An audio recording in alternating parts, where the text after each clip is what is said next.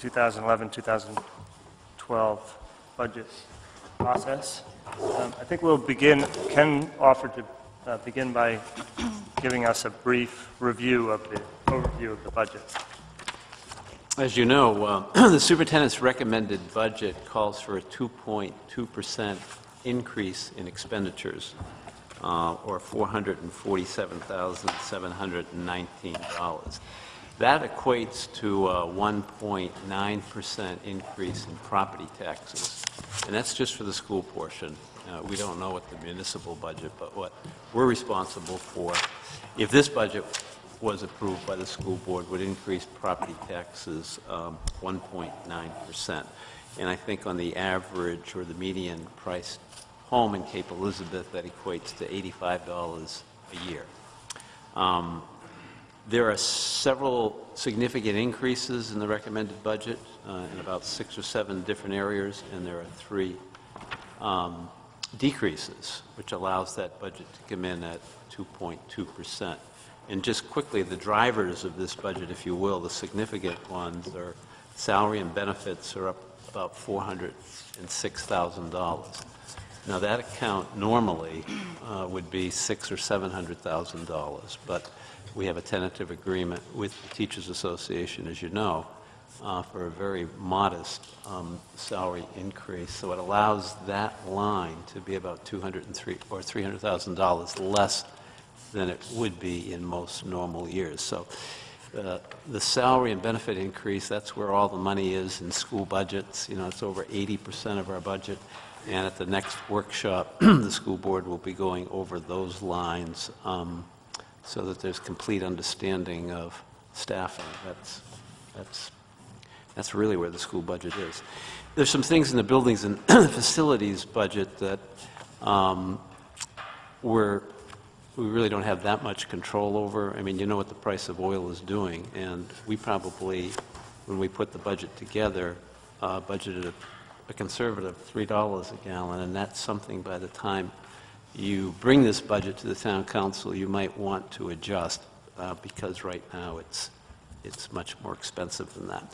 The other thing in that- those lines, the property insurance is going up $7,000, and we have the new boiler, which, as I mentioned the other night, that's uh, going to increase uh, that account 32,000. But that line would be a lot higher also if we didn't have the outstanding assistance of the town council. Um, So though building and facilities is up $100,000, um, those three areas are why. Every other account that uh, is in Greg's area of responsibility is in at the same amount as previous years or less. Uh, Instructional support is up $47,000 because of the out-of-district tuition when you compare apples to apples, um, because we were using federal stimulus money to fund some contracted services. You know, it shows that it's up 98,000, but an apple-to-apple comparison is just the 47,000 for out-of-district tuition. Athletics is up $18,000, and I know at our next meeting you'll want to go over that to make sure you have absolute clarity, but the main reason why that is up is to make sure that we're in uh, compliance with Title IX regulations and also increasing the trainer. Historically, we've been over budgeted um, in that area, and what we're budgeting or recommending that you budget next year is a more realistic accounting for uh, what we spend. And then the only other thing that's driving this budget up is transportation, and that's, you know, that's the diesel fuel. That's, uh, again, we've got a number in there that you might want to actually go in the opposite direction and increase. And the decreases in this budget, contingency is down $300,000. It's not that last year the school board increased, you know, that area by a large amount. I mean, last year the school board did increase the contingency account because we received some extra state funding. Um, We're not going to have that extra state funding, so the contingency line is back at what it um, has been historically. Which, as I pointed out, that's, that's an area when times get better, you've really got to increase. But because, you know, carrying a $70,000 contingency in a $22 million budget is pretty thin. Um, So it would be nice to have at least uh, double or triple that amount. But I don't think this is the economy where you can, you can start doing that. Um, Believe it or not, the economy will improve, and you'll be able to actually increase some lines like that, but not this year, probably not next year. Debt service is down 34,000, and um, there's some other accounts that are down about $8,000. So most of the accounts, I mean, the story of this budget is the evaporation of federal stimulus money, but the other part, uh, story of this budget is almost every other line that we can possibly control is at funding levels of previous years. So that's, that's the quick overview. Thank you. So what we had wanted to do, because there are a number of, this is a, this is a large budget, and we have three workshops, in order to bring some order to the process, we wanted to take a look at, and we knew we were getting a late start tonight, we wanted to take a look at some of the areas that might be most easily dealt with. Um, And I sent an email to the board earlier uh, last week describing what those are, and Ken repeated those, that list today. So um, for the benefit of everyone else, that list is technology, uh, debt service, health services, volunteer services, and office of the superintendent. So what we're, what we'll be looking at tonight are those areas, um, and we've got three other accounts that we'll get to if we have time.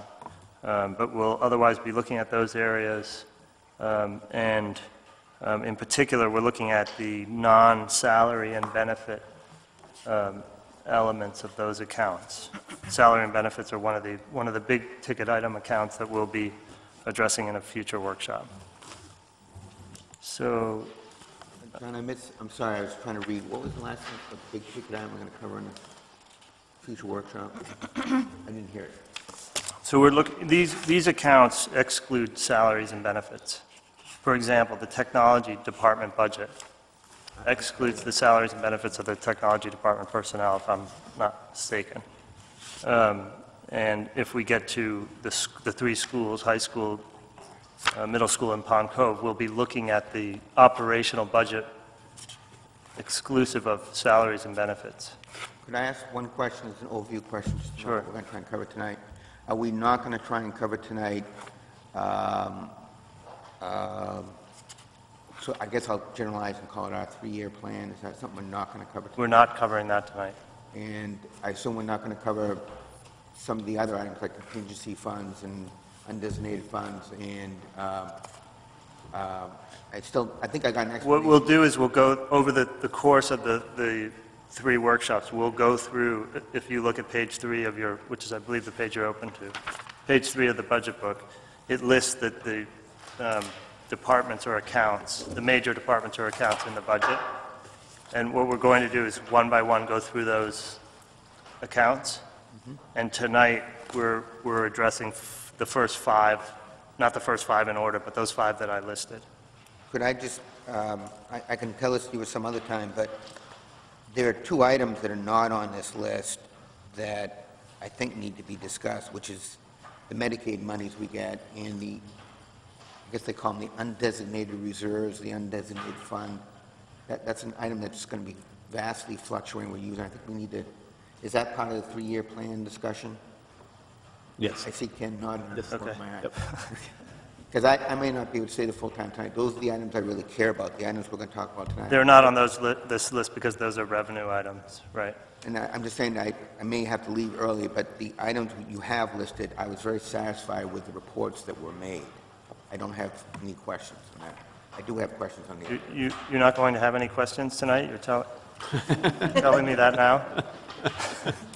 That's great. Do we have a notary? I, I, I I will question your sanity for actually challenging me to these questions. Oh, no, we're going to be here till 11. And that, Okay. that's just plain foolish. It's like, Are there any, are there any other overview questions? Um, No, I don't have any. Okay. So then we will move to technology, the technology budget. Um, And what I'll do is just ask the members of the board if there are questions about the technology budget. Um, I had one question around um, professional development for you, Gary, and this is just a clarifying question, around um, the Cape Elizabeth South Portland Summer Academy. Have we always paired up with South Portland for that? For the last two to three years, we have. Prior to that, we had done our own thing. Oh, okay, so it's, it's a collaborative meth, or, you know, a collaborative effort between the two communities? It is, they provide some instructors, and they also provide some funding Okay. to help support it. Great. Okay, that's great. I was just curious about that. And curious about, I know David mentioned um, some of the Google um, uh, information, or that, you know, moving toward Google. And do you have any idea how much money that that's saving the district by having, by moving us to um, a free service like that and and cloud computing? and- Well, We, we moved to um, Google for email. We had a uh, previous email server was FirstClass. The annual license fees for that was around $5,000 a year. And it was hosted on a server here that we had to buy and maintain. Um, Google's email is hosted by Google. So I was at a stage last year where I needed to upgrade that server too. So we probably saved about eight grand or so last year, or this year, just by moving to a new email service. Um, Google Apps for Education provides a suite of tools, much like a Microsoft Office type suite of tools. Um, That cost me, to put Microsoft Office on a computer, cost me $52 per license. So if you're looking at 1,000 computers, you you know, there's $52,000 right there. It's a- it's potentially a teacher. Um, So we're moving more towards Google and open source alternatives as an open, OpenOffice alternative that we may need a few Microsoft Office licenses for some administrative key people, key personnel, but I think uh, we're moving towards the less expensive alternatives. Thank you. And if I could add, it- it should also be freeing up technology department people to, rather than installing Microsoft software on machines, Correct? Right. um, you, once you've installed the web browser, you have access to Google's applications, and Right, because traditional software you install on a machine, and of course, there's always patches and updates and things like that that need to be applied. So the, you know, all of the, the labor that's involved with that disappears too. Google's updates happen by Google, and they just happen to appear in the browser. That's great. other questions? Mike? Uh, Yes, on the um, staff development line, um, it's $3,800 for for the, in the proposed budget. Is this the only uh, money that will be allocated to staff development or professional development, or are there uh, dollars associated with salaries and benefits? For, for technology for the district, that only, that amount includes the, the academy that we do at South Portland, that week-long academy, uh, which any staff can go to at no cost. Uh, We provide that and host that here. And it provides about a dozen people to go to a local uh, statewide conference that's I'm the- I'm biased, I'm the conference chair. I think it's a very good conference, and it's a good, um, it's a good bargain for, for- they get a good quality conference for what we pay, um, less than $100 per participant. So those, basically, those two things are the biggest chunk of the professional development money. Uh, uh, my thought, and I don't know how this works, but in 2008, 2009, we had about $10,000 in professional development, and I believe that was before technology integrators. Now your staff is larger. We've reduced professional development by almost 60%, even though your staff is large. And I think, given our reliance on technology, and it's a fantastic way to reduce costs in other areas, um, I think that's something we should consider, increasing our investment in professional development, further supported by, we're moving from Microsoft, which probably has more customer ser- service than Google, which is more self-service, so that's one area, I think. Um, I know we have a difficult uh, economic environment, but the return you get on professional development technology is